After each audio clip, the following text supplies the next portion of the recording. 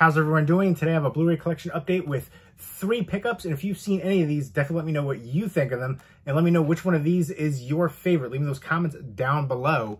And all three of these are ones that I have not seen. They're all new releases. Uh, the first one is actually an import from Australia. And this is from uh, Imprint which is an incredible uh, Blu-ray label, uh, and their releases have been region free. So uh, if you import them, they will play in uh, American Blu-ray players. And Imprint is an offshoot of uh, Via Vision, uh, and I really love they're like their you know the classy design, like Paramount Presents kind of line, things like that, where it's their premium line.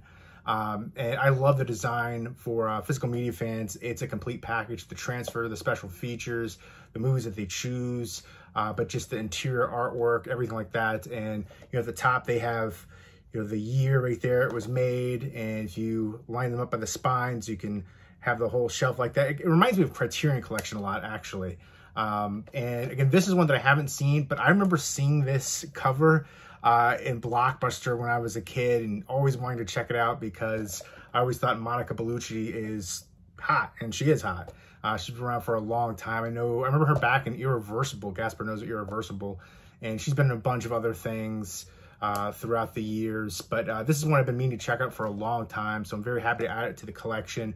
Uh, Imprint has released a lot of movies that we don't have over here in the U.S. Uh, the Gift is another one that I absolutely love. A, a darker role for Keanu Reeves, but there's so regarding Henry, so many different Blu-rays that they have that we haven't had here in the U.S. So I picked up a bunch from the Mothman Prophecies too. Um, but I love these like limited edition ones with the slip covers and stuff like their slip cases. And um, they do the awesome box sets too.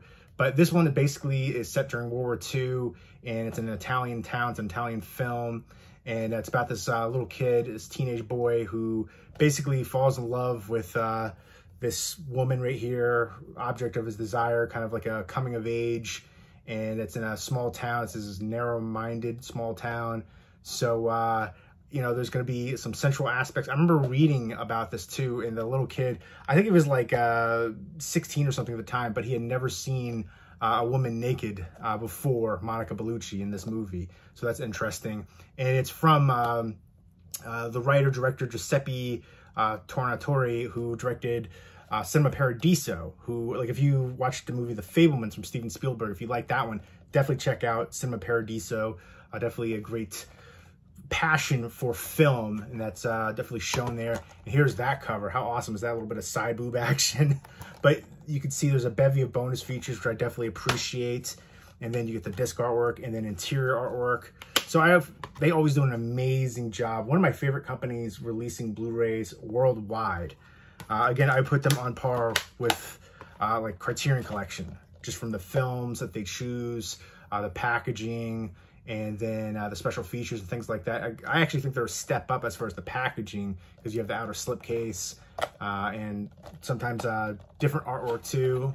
So I definitely appreciate that. I'm excited for this one. Can't wait to check it out. Again, I remember uh, just, you know, lusting over her uh, on this cover in Blockbuster for years when I was a kid.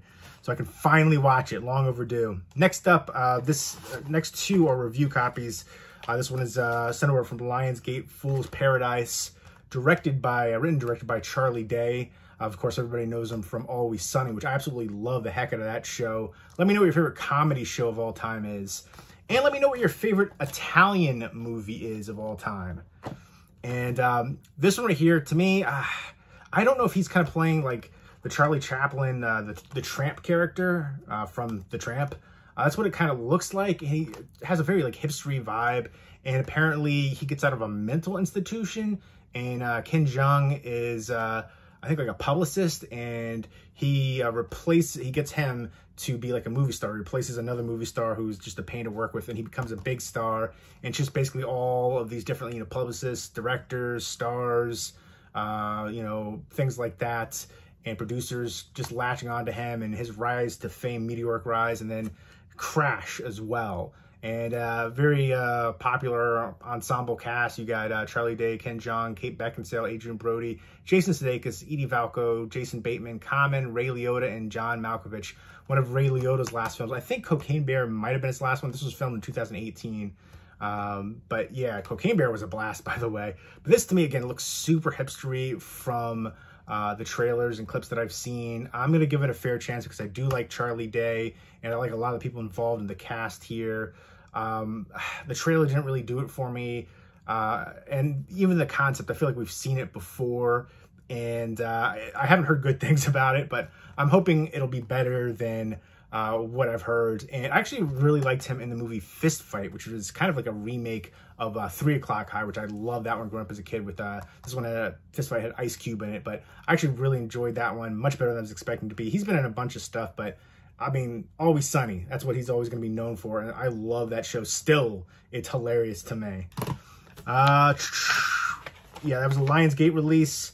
Uh, doesn't look like it has any special features, unfortunately sometimes I'll find like the special features are more entertaining than the movie a lot of times. And sometimes, you know, out of curiosity, I'll check them out. Uh, and this one's from Sony, and it is uh, Love Again. And this, the concept kind of made me think of the Jennifer Lopez movie that came out a couple years ago, uh, Marry Me, with uh, Owen Wilson, which I actually liked.